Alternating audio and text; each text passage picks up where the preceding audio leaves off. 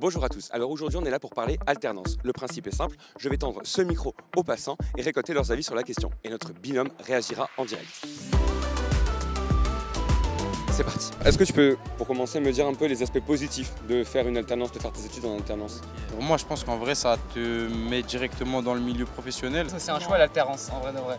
Au final, c'est le même diplôme à la fin. Tu vois comment fonctionne euh, l'entreprise, quoi. Tu vois, euh, t'observes tous les, je sais pas, les jeux de pouvoir au sein de l'entreprise et tout. Enfin, c'est, euh, je pense que c'est hyper intéressant. C'est la possibilité, tout en continuant ses études, de rentrer dans le monde professionnel.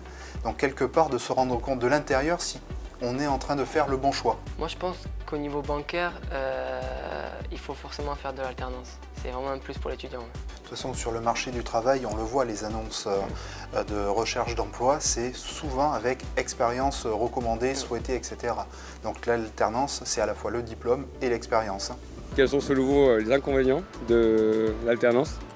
Alors moi, pour, pour, en avoir entendu parler, je sais que dans les entreprises, ils sont assez réticent euh, à pas avoir quelqu'un qui soit là disponible sur site tout le temps. Hmm, peut-être le fait qu'on passe moins de temps en cours, donc euh, on a moins de connaissances théoriques.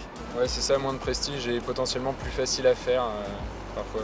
souvent d'avoir moins bon diplôme ou moins de grandes études après une alternance, que c'est plus associé à un moyen rapide de rejoindre le milieu professionnel. Puis à la fin du bac, je suis en alternance et ça ne m'empêche pas de continuer vers un master l'année prochaine. Euh, avec la même banque, donc la Caisse d'épargne, qui m'accompagne aussi. Je dois aussi rebondir sur la première, la première personne qui parle en disant qu'effectivement, dans les entreprises, ils préfèrent des personnes qui sont là tout le temps finalement. Mais non, non, non, au contraire, euh, c'est une personne qui vient en complément et qui ne vient pas substituer une personne euh, absente.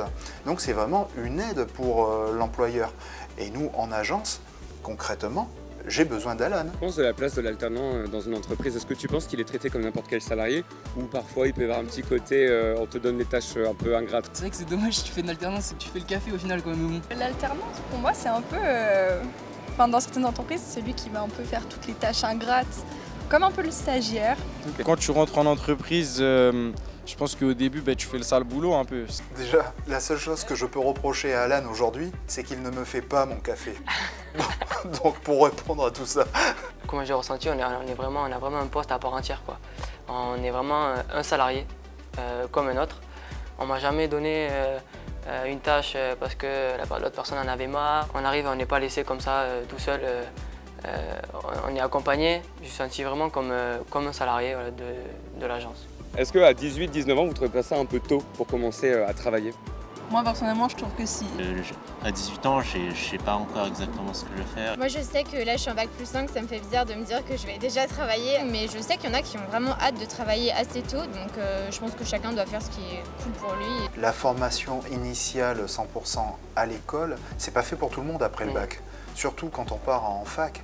Et effectivement, ça permet d'avoir un cadrage, l'alternance. J'ai la sensation parfois qu'Alan a plus à cœur à réussir ses missions confiées au, sein de l'agence, il y a justement ce repère, cette obligation de réussir par rapport à l'entreprise qui soutient ses études quelque part. Et c'est vrai, ce que tu disais aussi, c'est...